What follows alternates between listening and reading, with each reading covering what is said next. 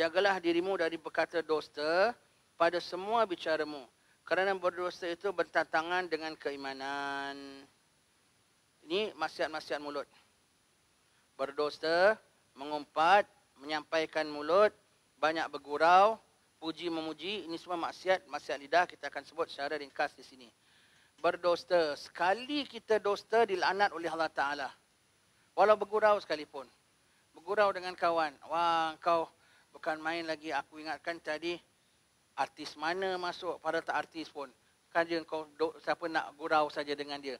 Wah, aku ingatkan tadi aku dengar kau nyanyi kan Jamal Abdillah tadi. Takkanlah Jamal Abdillah pembohong umpamanya. Dosta. Padahal kau tak ingatkan Jamal Abdillah kau cakap tu dosta namanya. Walau gurau sekalipun. Tak berbaloi kau dapat lanat Allah Ta'ala.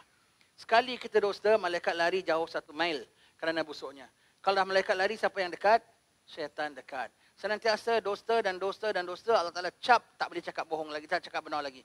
Cakapnya mesti nak dosta. Ada saja nak selitkan dengan dosta. Ha? Dan dosta ini, kalau kita cakap benar dan cakap benar, seberapa daya Allah Ta'ala cap jadi orang benar, tak boleh dosta lagi.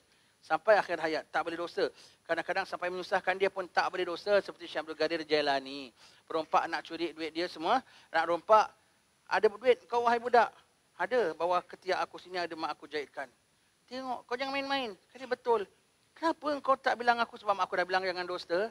Maka dia keluarkan. Allah, semua perompak tobat ikut apa dia, Masya Allah. Ha? Tak boleh dosa. Tak boleh dosa. Dosa ada yang tak dosa. Ada yang dosa ada yang dosa lebih besar, ada yang harus, ada yang wajib. Dosa yang tidak yang tidak dosa, tak sengaja. Bermakcik Hasan yang mana? Tu yang warna hijau. Rupa dia dah cat orang kelabu. Kita tak tahu ke kita lupa ke tersalah. Dosa tak? Tak dosa. Tetapi dosa tak? Dosa. Kalau puasa jejas pahala tak? Jejas pahala. Ha, dosa. Tapi tak dosa kerana tak sengaja. Dosa yang tak dosa begitu besar, kalau engkau dosa tak menyusahkan orang. Itu namanya temberang dalam bahasa Melayu. Ataupun borak. Ha? Seperti tak menyusahkan orang. Bersalahan dosa yang menyusahkan orang. Dosa yang tak menyusahkan orang. Cakapnya besar. Anak kalau setiap ujung tahun pergi England. Ada serapan dengan Queen. Pembohong tak pernah pun kau pergi England umpamanya. Lepas tu anak pergi Saudi. Nak jumpa Raja Saudi. Eh bukan main cakap besar. Tapi menyusahkan orang tak? Tidak kan? Ha, dosanya tak sebesar. Walaupun cakapnya besar. Tapi sebaliknya ada satu dosa lebih besar daripada dosa itu. Kalau sampai menyusahkan orang. Contoh. Engkau angkat talam. Angkat nasi. Pangjalan air panas, air panas. Orang kan berdembar terperanjat kan air panas. Tengah tengok rupanya dia angkat nasi. Dia bilang air panas. Pembohong. Kerana menjejas orang. Dosanya lagi besar. Walaupun perkaranya kecil. Ha, nak pergi pekan naik bas nombor berapa? Nombor 10. Kenapa kau bilang nombor 10? Kan nombor 11. Biarkan dia menyusahkan orang kan. Kerana menjangkau pada orang dosanya dia besar. Sebagaimana amalan pun. Amalan kau wirid, wirid, wirid, pahalanya besar. Tapi amalan yang menjangkau pada orang, mengajar ilmu, kebaikan pada, pahalanya lebih besar. Begitu juga dosa. Ha? Menjangkau pada orang, Aika baru balik pasar, ayah, banyak ikan lagi. Tak ada, dah habis ikan. Pahala masih banyak lagi. Ha, kesian orang ni tadi tak pergi pasar. Ha? Pasal tak pergi pasar, pasal apa? Ha, biarkanlah dia sengaja. Aku bilang tak ada ikan pembohong. Ha? Walhal masih banyak ikan. Asal menjangkau pada orang, dosanya lagi besar. Ada dosa yang bahkan tidak dosa. Kerana mendamaikan orang. A gaduh dengan B. Sudahlah, pulang tu dah sejuk tau. Padahal masih panas lagi. Dia dah bilang dia nak berbaik dengan awak. Eh, awak jangan cakap bohong betul. Kita jumpa B pun kita bilang begitu. Padahal dua-dua masih masih geram lagi. Sampai dia dah sejuk, dia jumpa. Ah, dia berbaik. Kemudian dia tahu kau bohong. Itu dia punya pasal lah. Pokoknya dia dah berbaik. Ha? Tetapi kau nak dosta, kena dosta yang munasabah. Jangan kau buat-buat cerita. Dia bilang kalau awak berbaik dengan dia, dia nak belanja, awak pergi umrah. Eh, pembohong awak gitu. Jangan buat-buat cerita yang tak sepatutnya. Ha? Tak ada kena-mengena. Ha, dosta yang yang boleh. Mendamaikan orang. Mendamaikan orang. Dosta yang harus. Bahkan untuk mengelakkan kecelaan yang sangat besar. Dosta yang harus seperti perang. Janggut dah putih dihitamkan. Kan nama dosta tu? Ah, boleh. Ah, dosta begitu. Ah, lagi dosta dalam peperangan umpamanya untuk nak trikkan musuh. Boleh. Semua itu dosta yang dalam peperangan itu namanya taktik peperangan. Semua itu boleh. Dosta yang nak mengerakkan porak peranda besar. Seperti Imam Ghazali sebut contoh, orang ada dua tiga isteri. Abang cakap betul. Siapa awak sayang? Isteri muda ke saya? Takkan saya nak bohong? Saya sayang dia lebih lah. Dia muda, dia cantik. Masuk hospital kau. Allah. Umpamanya. Harus bohong ketika itu. Harus bohong ketika itu. Ha? Awak cakap terus terang. Masakan saya lebih sedap ke masakan dia lagi sedap? Harus bohong. Tetapi dalam kes-kes begini, sayogia kita gunakan tauriah. Iaitu apa cakap dua makna. Kau assume, kau sangka aku cakap sedemikian. Tapi aku tak bilang. Awak cakap, lauk siapa lagi sedap? Saya punya ke isteri awak muda punya? Awak tak nampak saya tambah tiga kali ni? Ya awak boleh tanya pulanya. Padahal sana kau tambah lima kali. Umpamanya, ha, dia saja sangka begitu. Ha? Sehingga kan Imam Ghazali sebut, setengah orang alim, macam ditarim lah. Kadang orang datang nak jumpa dia pagi, petang, siang, malam. Dia perlu rehat. Dia perlu nak mentelaah kitab umpamanya. Dia nak bilang, apa datang lain kali? Tak sampai hati. Nak bilang, Habib tak ada rumah. Bohong. Jadi macam mana disuruh orang gaji dia? Kalau orang datang, Assalamualaikum. Kau jangan lupa kau buka pintu. Kau bawa lah apa yang patut pinggan ke dalam. Kemudian orang tanya, Habib ada? Habib tak ada di sini. Oh, okeylah. Nanti saya datang lagi. Ayolah. Bohong tak? Tak bohong. Habib ada kat dalam. Misal tak ada di sini, Habib tak ada di sini. Tak ada atas dalam. Uh, jadi engkau yang sangka, aku tak bilang Habib tak ada kat rumah. Aku cuma, Habib tak ada di sini. Uh, jadi kalau kau pergi ketua rumah orang alim, Orang gaji dia buka pegang talam kau tengok tangan dia. Kalau bilang Habib tak ada sini. Dia tak ada kat talam tapi ada kat dalam tak? Ha? Macam dulu ada syekh apa satu al-khatib bangsanya. Dia orang Tarim. Tinggal kampung asalnya Khulif. Khulif tu satu kampung sana lah. Kemudian dia bikin rumah di Aidit. Syekh apa namanya Allah? Muhammad bin Salim. Al-Khatib. Muhammad bin Salim Al-Khatib. Orang alim, mufti levelnya. Orang alim duduk Jeddah. Kalau dia balik Tarim, ziarah Nabi Hud, kapal orang datang rumah dia semua. Jadi dia penat kadang nak ziarah dia baru penat begitu semua. Meninggal, ziarah waktu ziarah Hud dia meninggal. Subhanallah. Ha? Balik Tarim ke bumi di Tarim. Subhanallah. Ha? Sekali dia apa kalau orang datang rumah dia, rumah dia yang dia edit dikasih satu bilik nama kampung tu Khulif. Jadi kalau orang datang, abah ada, abah dia khulif. Oh, abah dia khulif. Ah, yalah, tak apalah. Khulif mana? Bukan khulif sana, khulif dalam rumah dia. Ah, dikasih khulif. Ah, tu, semua tu bukan dia bohong tau. Helah namanya. Helah. Ah, harus. Umpama gitu harus. Ha? Dosa yang wajib orang nak bunuh seorang, orang jahat. Dia lari masuk rumah kita. Mana pulang tadi? Tak ada dia tak sini. Kita bohong kan? Ha, tu wajib kita dosa. Ha, tu di antara dosa-dosa yang tak berdosa. Ha? Mengumpat. Mengumpat adalah kalau kita mengumpat orang, kita sebut apa saja celanya. Maka dosanya besar. Mengumpat, kau sebut apa saja pada pakaiannya ke, pada cakapannya ke, pada rupanya ke, pada isterinya ke, pada keretanya ke, pada apa saja. Kau tengok pula ni kereta dia tak bercuci, kesian ya. Kesian tak kesian, kau dah cakap buruk kau berdosa. Dan mengumpat tu lebih bersangatan daripada berzina. Kenapa? Begitu engkau tobat daripada zina, Allah Ta'ala ampunkan dosamu. Tapi kalau mengumpat orang tak terampun dosa sehingga orang yang diumpat tu mengampunkan dosa. Tak kepayah. Tak kepayah. Dan tak boleh minta ampun. Syarat tobat tidak boleh secara secara jumlah, mesti kena secara tafsil. Ya Allah ampun segala dosaku. Kena sebut satu dosa, satu dosa. Satu dosa, satu catatan, satu kes, satu penyesalan, satu taubat, satu permohonan. Kena satu, satu, satu, satu. Sampai kau dah tak boleh ingat, baru kalau segala dosa ku ampunkan. Begitu juga dosa dengan sahabat kita. Minta maaf ya, zahir batin, ya, salah tercakap, tercentuh, semua apa semua. Kosong-kosong. Orang sekarang kan, dia macam marah ya, dia kosong-kosong tau. Ini kan apa kosong-kosong? Rupanya kosong-kosong, kau kosong dosa, aku kosong dosa. Tak pakai. Kau kena sebut. Tak maaf ya, saya ada mengumpat awak. Apa awak mengumpat saya? Kena bilang. Saya bilang awak ni pemalas punya orang. Awak kuat makan. Awak kuat tidur. Awak pengotor. Awak macam-macam kau sebut. Ha. Jangan marah ya. Sebiji kau kena. Allah. Macam mana kau nak minta maaf begitu? Kan susah namanya. Ha? Susah. Nak tobatnya susah. Ha, jadi jangan mengumpat orang. Kita bilang jangan mengumpat orang satu negeri. Orang-orang Indon ni, Indon, Indon. Yaumil akhir, Pak, pahalanya Pak? Beribu orang Indon minta pahala kau. Allah, berjuta orang Indon pahala kau. Teruk, bingkrap nanti. Susah tobat daripada mengumpat. Jangan mengumpat. Ha? Jangan mengumpat. Hati-hati jangan mengumpat. Jangan mengumpat orang alim dagingnya beracun, kau banyak binasa. Ha? Orang yang mulutnya kus, semangat, empat orang alim, empat ustaz, empat apa ini semua, binasa. Tak ada binasa pun. Dah binasa lah tu, hatinya dah tertutup. Hatinya tak sedar yang dia buat dosa. Dah binasa tu, dah binasa. Ha? Dah binasa. Mengumpat orang. Ada enam kategori umpatan yang tak dosa. Enam kategori umpatan yang tak berdosa. Yang pertama jumpa mufti, yang kedua jumpa qadi. Yang ketiga jumpa Pak Long. Yang keempat nasihatkan orang. Yang gelaran dia memang dah begitu. Yang keenam dia buka maib dia sendiri. Apa pasal Pak Long semua masuk cerita? Pak Long tu contoh. Ha? Jumpa mufti. Apa beza jumpa mufti, jumpa qadi? Jumpa mufti kita minta fatwa tapi kita nak tindak sendiri. Seperti seorang wanita jumpa sama Rasulullah. Ya Rasulullah, suami aku lokek kedekut. Ha? Tak kasih nafkah cukup. Itu kan umpat namanya. Bolehkah aku ambil daripada poket dia kadar cukup belanja aku? Ha, jadi dia minta fatwa sama Rasulullah. Ha, itu jumpa mufti. Tuan mufti ini perkara gini. Boleh tak? Bermakna kau nak tindak sendiri. Tapi kau tanya hukumnya. Dan kau jelaskan apa ceritanya. Itu harus. Tak, umpat tapi tak berdosa.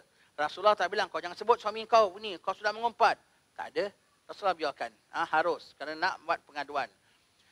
Ngadu qadi. Termasuklah ngadu qadi. Lapor pada raja lapor pada polis, pihak berwajib. Ha? Kan kita sebut, ha, minta maaf tuan, saya nak buat laporan, jiran saya ada perkara-perkara begini. Apa jiran awak buat? Dia buat perkara sekian, sekian, sekian. Umpamanya lah ya. Ha? Ha, itu namanya ada illegal punya perkara dekat rumah dia. Kau sebutkan celanya. Tak salah. Kenapa nak minta polis ambil tindakan? Ha? Nak ambil minta polis ambil tindakan, itu hukumnya harus sempat. Yang ketiga, minta tolong Pak Long dia aku nampak budak tu minum arak ke main judi ke. Kalau aku tegur dia marah ni jadi gaduh. Biar aku ngadu Pak Long dia. Pak Long dia cakap dia dengar. Ah, Cik Kasim, dia punya anak saudara tu tengah main judi ujung kampung. Adakah begini-begini? Kau sebut. Kan kau empat namanya tu. Harus, bahkan wajib. Bahkan wajib. Ah, Bahkan wajib. Baik. Yang keempat, kerana nak menyelamatkan orang Islam. Pulan-pulan tu biasa duduk sekampung dengan awak. Dia pinang anak saya pulaknya. Macam mana orangnya ya? Eh nak cakap tak berani dah jadi menantu awak tahulah awak nanti belangnya. Eh tak baik cakap le apa salahnya? Ha? Tahan kau nak kasih orang kahwin. Bilang orangnya okey tak ada apa-apa familynya. Cuma bapa dia tu penagih dadah. Mak dia kaki gaduh. Ha, budak ni pulaknya senantiasa keluar masuk jail. Ha, suka tilah awak nak ambil menantu ke tidak? Ha, itu nak mengumpat tak tu? Mengumpat. Tapi harus tak? Harus. Ha, ini semua siang hari Ramadan elakkan. Ha, kecuali empat yang wajib macam ngadu Pak Long dia tu semua tadi yang wajib siang tak siang kau kena bilang. Kalau yang setakat yang lain-lain kau elakkan siang hari kerana takut menjajas pahala puasa. Yang kelima kerana orang punya gelaran. Satu kampung ada 14 Ahmad. Pula kalau gelaran tak pernah cantik tahu Ahmad Ahmad handsome ke Ahmad putih berseri ke mesti gelaran Ahmad bengkok, Ahmad boncit, Ahmad botak, Ahmad macam-macam yang tak senonoh tak senonoh kan gelaran kan. Tapi kau tak sebut orang tak kenal. Boleh saya tahu mana rumah Ahmad Sufyan bin Zainuddin? Tak ada siapa kenal. Mana rumah Cik Mat Bengkok? Ah, depan sana. Bengkok. Tapi dia marah tak? Dia sendiri bilang, kau tanya Ahmad Bengkok. Ah, dia tak marah pun. Tak dosa. Tak dosa. Ah, dah memang tu gelaran dia tak boleh nak sebutkan. Lain pun tahapanya bengkok tak tahulah. Tangannya bengkok ke tengkoknya bengkok ke. Ah, begitu ah, umpamanya. Ah, yang keenam ialah mengumpat orang yang membuka aib dia sendiri. Mengumpat tu kau buka aib orang tahu macam kau makan daging dia. Hidup-hidup kita dah bincangkan. Tetapi ini dia sendiri buka aib dia. Minum arak depan-depan orang sambil kepit perempuan. Umpat dia. Cerita dia biar dia tahu perbuatan itu menjadi cakapan orang kampung. Orang tak suka. Apa punya orang ni tak senonoh minum arak depan orang. Semagi itu tak umpamakan. Cerita biar orang dengar. Apa kau orang cakap tahu hal kau. Biar dia tahu orang tak suka dia. Yang ini kau nak umpat dia hidup boleh, mati pun boleh tak bersalah. Dengan dasar ini kita boleh umpat orang kafir. Tak berdosa. Ha? Kenapa? Sebab maksimum kesalahan ialah kufur. Dan dia zahirkan. Maka segala kesalahan dia itu masih di bawah kufur. Kau umpat tak apa-apa. Tapi tak digalakkan. Kerana kau dah biasa umpat keling, nanti Melayu pun kau nak umpat. Umpamanya lah. Ha? Umpamanya. Tak begitu digalakkan. Umpamanya. Ha? Baik. Dan yang ini kau boleh umpat dia di kala hidup dan lepas mati sekalipun. Kalau kita tengok dalam bab mandi mayat, ada sebut tukang mandi kena cermat mulut, tak ada cerita bukan-bukan. Kau mandikan orang yang baik, orang yang terhormat. Pak Imam umpamanya. Mayatnya cantik. Tukang mandi tahu tahu mayat ni macam mana. Kita tengok mayat, kita boleh tahu mayat ni happy tak happy dengan dia punya kematian. Kau tengok mayat dia, Alhamdulillah berseri. Mayatnya happy. Harum pulaknya umpamanya. Kau cerita orang, Tadi masa saya mandikan mayat dia, Masya Allah, begini-begini. Jadi orang suka nak sembayangkan dia. Cerita orang, tak apa. Kau mandikan orang baik, nampak tanda tak elok. Muka dia lebam umpamanya. Ha? Begitu kau siram lidah dia terjelih. Oh, peranjat aku. Umpamanya, macam cerita apa tu, wak yang mandi kubur tu apa macam mana? Kan ada cerita kat televisyen tu kan. Dia, dia kesian, nasib dia asal mandikan mayat mesti ada keluar ulat ke apa semua itu. Eh? Kan ada kadang televisyen cerita tu, siapa tu pakcik tu. Dia punya mayat semua tak senonoh dia kalau mandikan. Eh? Begitu. Ha. Kau mandikan orang baik, sekali tak tahu nampak tanda yang tak elok. Jangan cerita orang. Tutup aib dia. Sebagaimana masa hayat dia, dia tutup aib dia. Setiap orang ada kesalahan. Tetapi dia tutup, mana jaga maruah dia. Jaga maruah dia lepas mati. Kau mandikan orang jahat, kaki judi, kaki arak. Cantik pula mayat dia harum, putih bersih. Kau jangan cerita orang. Nanti member dia suka. Tengok, minum arak pun mayat cantik. Nah. Ha, nanti member dia tak nak tobat. Jangan cerita, diam-diam saja. Alhamdulillah, Alhamdulillah. Kau mandikan mayat orang jahat, nampak tanda buruk, cerita orang. Tapi bukan cerita kau umumkan. Saudara, lihatlah balasan Tuhan. Buka mayat dia tengah terbeliak gini. Tak boleh. Ya, itu aibkan dia. Itu drama. Itu nama dia. Ya. Kau cerita yang patutlah. Umpamanya anaknya. Tengah mandi. Kau tengok macam mana abah kau. Anak dia pun ngeri. Kau tahu kan kegiatan abah kau kan? Kau jangan ikut jejak dia. Sekarang dia dah mati. Tugas kau minta Allah ampunkan dosa dia. Boleh terampun. Minta abah, Allah tak ampunkan dosa abah kau besok lusa jumpa kawan dia. Awak member pulan-pulan kan? Ya, saya mandikan mayat dia. Awak tak tahu mayat dia macam mana? Awak tahulah kehidupan dia dulu kan? Member awak, awak tak tahu mayat dia macam mana? Begini-begini, biar kawan dia seram. Ha, begitu eh. Harus ceritakan. Walau lepas mati sekalipun. Ha? Allah ha, berlindung sama Allah Ta'ala ya. Mayat kita nanti macam mana lah ya Allah la hawla wa la quwata illa billah. Ha, itu dalam bab mengumpat. Ha, dalam bab mengumpat. Kemudian apa dah tak boleh mengumpat bawa mulut ghibah bawa mulut apa namimah namimah yang mengumpat dah jahat yang menyampaikan umpatan lagi jahat Fulan bin Fulan, saya ingat dia baik dengan awak. Rupa dia kalau dah umpat awak, teruk macam-macam dia bilang. Dia bilang awak begini, dia bilang awak begini. Saya dengar saja. Eh, dahsyatnya dia. Kalau kau nak ketuk, kau jangan ketuk yang umpat. Kau ketuk yang sampaikan dulu. Pasal apa? Yang sakitkan hati kau siapa? Yang umpatkan yang nyampaikan? Yang nyampaikan. Dia umpat aku, dosa dia, aku pindah pergi tempat dia. Pahala dia aku dapat. Tapi hati aku tak sakit. Yang sakitkan hati aku kau. Dan kau baik sangat ke? Bermakna kau pun seronok dengan orang cerita aku. Patut kau apa stopkan kan? Ha? Saya stop, saya bilang, jangan cakap, jangan cakap. Satu hal juga. Kau dengar satu persatu dia umpat aku. Kau dengar, bermakna kau suka orang umpat aku.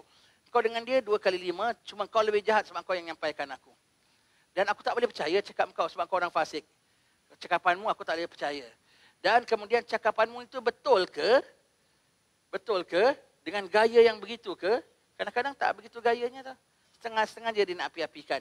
Ha, umpamanya. Maka kau tak boleh terima. Orang yang namimah ni, apa dahsyat. Ha, dahsyat. Dia lebih dahsyat daripada orang yang mengumpat. Dia yang menyampaikan. Nabi Musa AS. Kawasan dia tak ada hujan.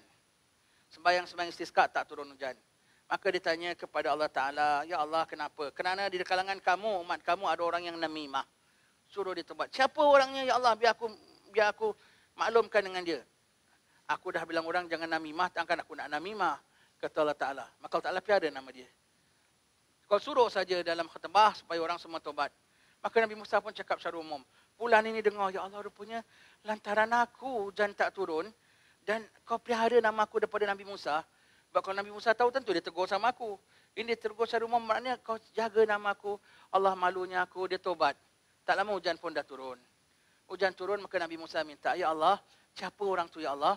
Sekarang dia dah tobatkan jadi aku nak tahulah siapa orangnya. Dia belum tobat pun aku tak buka nama dia. Takkan dia dah tobat, aku nak buka nama dia. Masya Allah, Allah jaga aib saudaranya. Maka jangan kita bernamimah. Ha? Begitu. Eh? Itu menyampaikan perkataan, tak boleh. Walaupun dengan kesian ke, dengan apa ke, tak boleh. Bahkan di antara kita adab kawan, ya, adab berkawan, jangan cerita dengan kawan kita apa orang cakap dengan dia ke orang komplain dengan dia. Kawan kita ustaz ke, kawan kita imam ke. Anak geram dengan fulan tu, kau dengan inti ada saja salah. Adakah dia bilang inti punya sembahyang begini? Anak tak suka fulan tu, agak dia wahabi agaknya tahu. Inti punya cakap ada saja dia bilang cakapan inti point begini lah, tak ada dalil lah, tak ada apalah. Kau jangan sampaikan dia buat dia rasa unhappy, buat dia rasa tak tak senang. Betul. Kau dengar kau senyap saja sudah. Kau pernah kau geram dengan dia ke, kau siankan dengan dia ke, kau tak boleh cakap. Kau sudah membuat hati dia mendengar orang cacat, cacat dan cela pada dia. Tak boleh sampaikan semua gitu. Tak perlu kau sampaikan. Tak kadang-kadang kita begitu kan dengan ustaz kita, ustaz, anak geram tahu tadi orang, anak bertengkar dengan dia. Adakah dia bilang inti pemalas, inti begini? Alamak, dalam banyak-banyak kau dah umpat aku sekali. Kau dah kutuk aku secara tak langsung. Allah, tak pakai akal orang ni ya. Jadi aku kau aku dengar je kau bilang aku cakap begini. Allah, jangan, jangan sebutkan begitu. Di antara adab kita punya pergaulan. Ha? Namimah tak boleh. Bergurau. Sebelum bergurau, bantah-bantah banyak tak boleh. Bantah-bantah, orang cakap semua kita bantah kita jadi mengada-ngada, jadi juru bahasa pulanya. Orang cakap, enti cakap sebutan biar betul lah, macam keling pulanya, terbalik-balik enti punya cakap. Begini, tak boleh. Aib. Itu bermakna kau macam seolah lebih baik daripada dia. Enti cakap begini, bukan begini, poin dia begini. Tak boleh. Tak boleh kau betulkan orang cakap. Kalau bahkan kerana hukum, kau tegurlah dengan baik. Kalau tak kerana hukum, kau diamkan saja, tak ada masalah. Baik, kemudian lepas itu, Sebelum kita masuk bergurau, banyak puji memuji pun tak boleh. Baiklah bertengkar tak boleh, mengumpat tak boleh, puji, puji. Puji belaka. Yang orang gitu kan pujikan. Wah, bukan main lawan nanti smart lah ni hari. Eh, bukan main wangi lagi. Eh, songkok bukan nasi. Semua kau puji, mengada-ngada. Tak bagus. Puji memuji tak bagus. Aku ingat bagus. Tak bagus. Wow, Ustaz, anak dengar Ustaz punya ceramah. Terkesan tau hati anak Ustaz. Macam anak menangis lah. Jangan cakap gitu. Tak boleh, tak boleh. Pada puji memuji ada enam kebinasaan. Empat bagi yang memuji, dua bagi yang dipuji. Bagi yang memuji, empat kebinasaan. Pertama, takut kau puji over. Kalau kau puji over, kau dapat markah dosta. Markah dia patut setakat 50 ke 60 lah. Kau puji dia sampai 90. Maka kau dapat dosta 30 poin. Ha, umpamanya lah dia punya suara satu Malaysia pun kalah pembohong satu pencala ni pun tak tahu boleh menang ke kalah. Kau dah cakap satu Malaysia. Kan pembohong dapat doster over. Ha, kasih markah over. Ha? baik. Yang kedua bagi yang memuji ialah dia ada udang sebalik batu. Orang lain dia tak puji tahu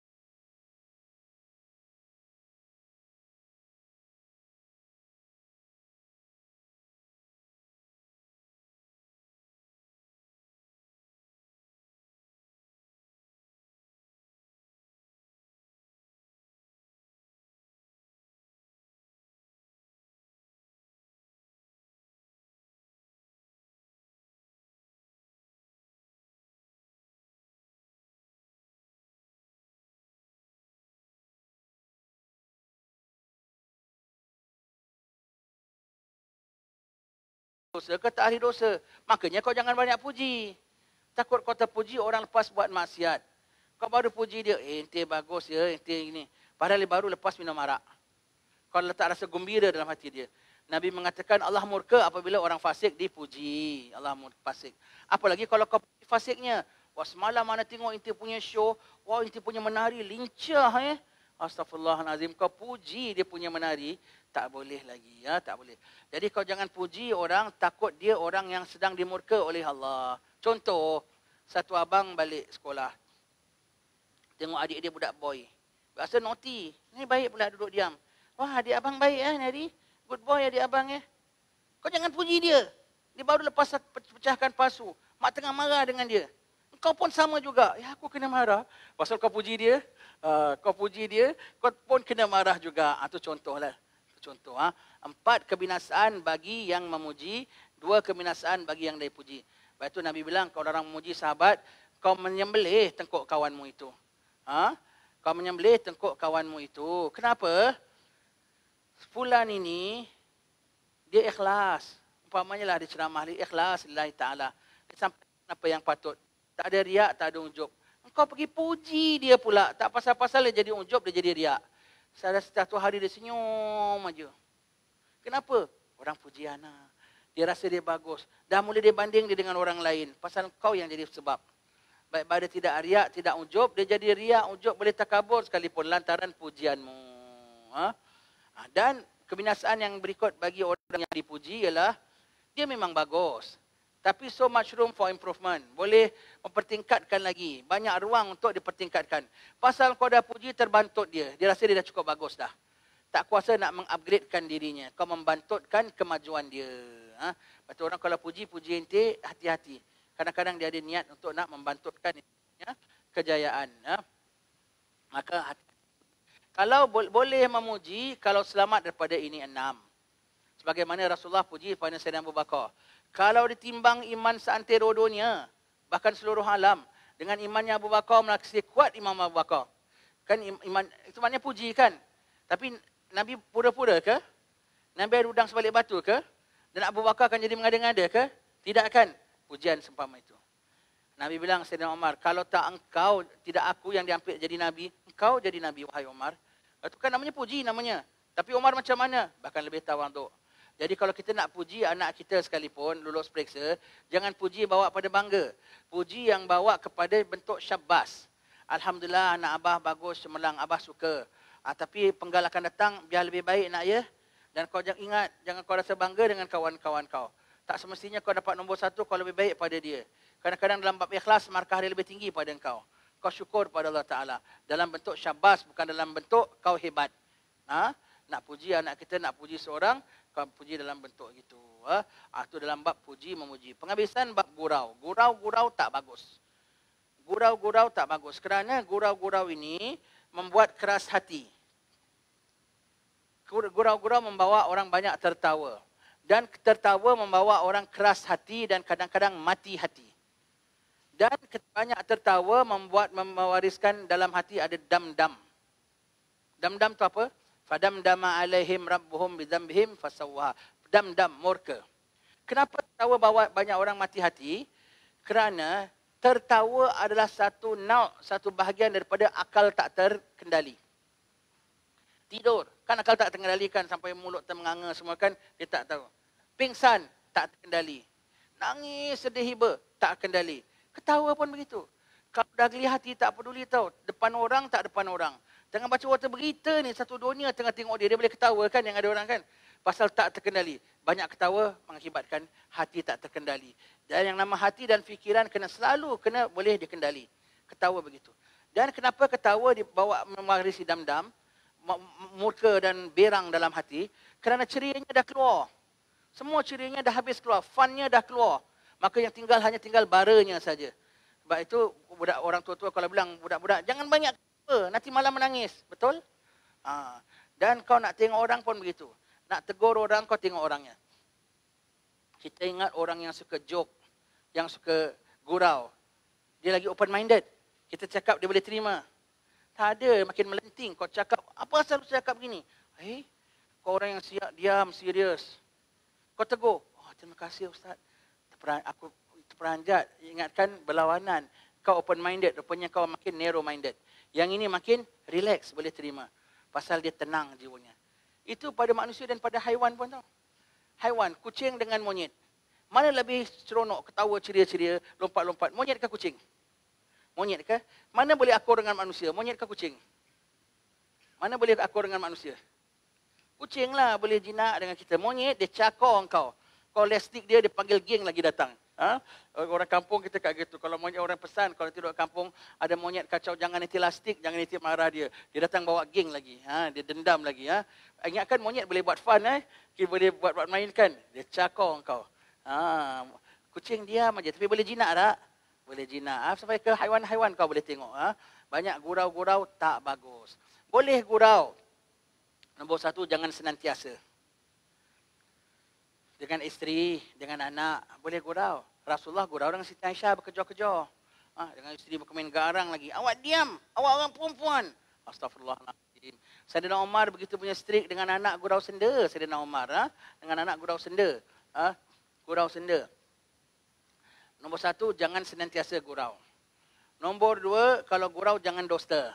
Macam kita cakap tadi. Nombor tiga, gurau jangan mengaibkan diri sendiri.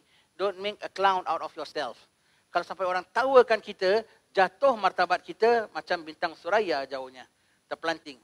Lepas itu orang bilang jangan gurau dengan orang atasan kita dan jangan gurau dengan orang bawahan kita.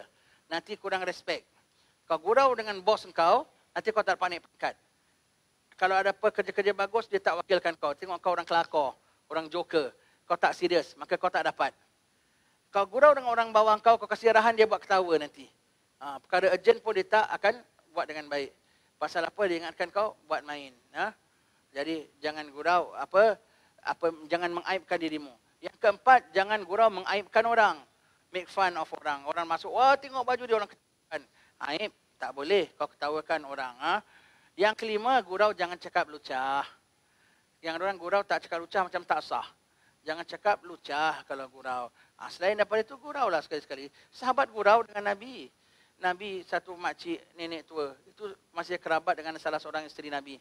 Datang jumpa Rasulullah. Untung nenek tu ya. Dapat jumpa Rasulullah ya. Maka bilang, ya Rasulullah. Makcik ini masuk surga ke tidak? Rasulullah orang tua tak masuk surga makcik. Nangis dia. Aku tak nak masuk surga. Dia nangis. Saya tak bilang makcik tak masuk surga. Makcik masuk surga lah. Tapi takkan tua begini. Dia mudakan. Oh ya, ketawa makcik tu. Mana makcik tu masuk surga tak? Masuk surga. Ya, untung dia dapat Nabi sebut dia masuk surga. Mak dia masuk surga tau. Uh, tapi Nabi gurau dengan dia. Nabi gurau dengan dia. Ha? Uh, gurau sumpama itu. Boleh. Ha? Gurau sumpama itu. Gurau selalu-selalu tak bagus. Khususnya nanti, nanti kalau bikin ceramah kuliah. Jangan siap gurau aja ketawa. Eh, bagus dengan ceramah ustaz ni ya banyak ketawa lah. Itu namanya lawak jenaka. Itu bukan namanya ceramah. Tak bagus. Ha? Kita punya Habib-Habib cakap. Serius. Tapi fun. Ada perkara yang menggelakkan kita. Ada perkara yang buat kita merenung. Bukan senantiasa tampil nak cari bahan jok. Cari bahan begitu. Tak eloklah. Ha? Tak elok. Ha? Begitu. Ha? Itu dah bab bergurau. Jauhilah semua kata-kata yang buruk dan tahan lidahmu dari percakapan yang cabul. Sebagaimana anda menjaganya dari bicara yang tercela, cakapan yang kotor-kotor. Sebut perkataan-perkataan anggota-anggota tertentu dengan lafaz begitu saja. Orang dulu kalau sebut batal puasa apabila masuk lidah celak ke dalam tabung. Dia tak nak gunakan masuk benda ini ke dalam benda ini. Kias punya kias. Tak sedap cakap yang direct-direct. Hatta suami isteri sekalipun. Laki bini macam tak pantang, sebut itu, sebut ini. Tak boleh. Walau isteri dan kau, halal, halal perbuatan. Adab kena jaga. Kehormatan kena jaga. Ha? Tak boleh main mention aja perkataan-perkataan semua tu. Tak bagus. Khususnya depan orang tua-tua lagi. Ha? Khususnya depan orang tua-tua. Mertua dengan menantu lagi. Sayyidina Ali kalau nak tanya bab mandi, nak tanya bab apa air madi, tak tanya Rasulullah direct. Padahal sahabat rapat Rasulullah. Pasal malu. Ini perkara-perkara perkara-perkara sulit dan dia menantu Rasulullah. Minta orang tanyakan. Itu adabnya. Nak tanya hukum, tak tanya direct-direct. Ha? Berlapis, minta orang tanyakan sampai begitu. Ha? Cakap perkara-perkara yang yang tak sedap, tak sedap ni, tak elok. Dah masuk bang ya? Dah masuk waktu bang. Kita habiskan sikit, nanti kita bang. Saya sembahyang insya saja saya berangkat pergi ke Bukit Jelotong ya, Bukit Jelotong ya. Ada kuliah sana pula kitab ke, rumah Habib Habib Abdul Rahman Al-Haddad juga. Cucu Habib Abdullah Al-Haddad kita baca kitab Syiarus Salihin. Ha? Imam Ghazali. Selanjutnya ingat dahulu sebelum berkata apa-apa. Jika baik teruskan dan jika sebaiknya diam. Ha. Telah bersabda Rasulullah sallallahu alaihi wasallam, "Kullu kalamin bin Adam alaih la lah illa zikrallah aw amran bil ma'ruf aw nahyan anil munkar." Semua bicara anak Adam dikira atasnya bukan baginya. Atasnya maknanya apa? Dosa baginya. Charge on him, bukan for him. Ha? Kecuali zikrullah menyuruh buat baik, mencegah pada mungkar. Ha, kita setakat sampai di sini saja. Jadi kalau saya tanya macam sampai mana? Muka surat 85 telah bersabda Rasulullah kullu kalami bani Adam. Sampai situ ya. Ha, begitulah. Jadi lidah kita paling banyak masukkan orang dalam api neraka ialah lidah. Ha, lidah. Orang Melayu bilang lidah bercabang. Betul tak? Salah. Mana ada lidah bercabang? Tak ada. Lidah tak bercabang. Bahkan lidah bercabang-cabang. Cabang dosta aja macam-macam cabangnya. Ngumpat macam-macam cabangnya. Ya tidak? Macam-macam cabang lidah. Siapa ada artis di sini, saya minta drawkan cabang-cabangan lidah. Kau draw mulut, kau draw lidah, kau nak cabang. Dosta. Dosta harus, dosta, dosta, dosta tak dosta. Cabangnya banyak. Umpat, cabangnya. Puji, cabangnya. Cabangnya, cabangnya, cabangnya. Ha? Begitu. Dan elakkan daripada berkata perkataan yang sia-sia. Berkata perkataan yang sia-sia yang kalau orang tu dengar tak tambah knowledge baginya. Dan kalau dia tak dengar tak tambah rugi baginya. Seperti apa dalam kitab penawar bagi hati kita sebut. Seperti kau cerita segala hal ehwal umat dan masyarakat dan kampung dan tempat. Orang Melaka, rumah dia cantik tau. Tangga dia warna-warni. Kau tak cerita orang tu jadi bodoh tak? Tak ada kan? Tak. Semalam anak nampak tupai panjat pokok. Eh, anak pun nampak kucing makan tikus. Dia tak terima, tak terima khabaran tu dia jadi bodoh tak? Tidak kan? Kau cakap ada dosa tak? Tak ada dosa, tapi ada rekod. Yaumil akhir kau kena tanya matahari sejengkal atas kepala.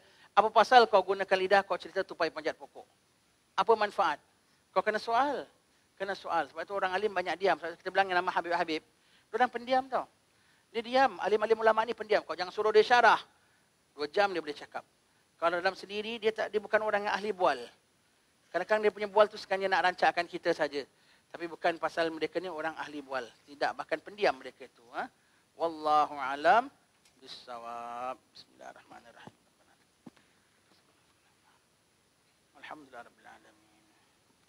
Bismillahirrahmanirrahim.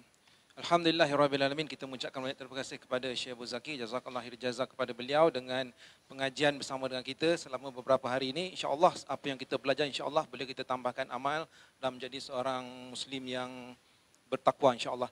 Dan seterusnya kita berdoa kepada Allah SWT supaya guru kita diberi kesihatan yang yang baik, rezeki yang luas dan dipermudahkan segala urusan beliau untuk kita bertemu semula dengan beliau dalam kelas-kelas yang akan datang insya-Allah pada bulan hadapan kita akan umumkan dalam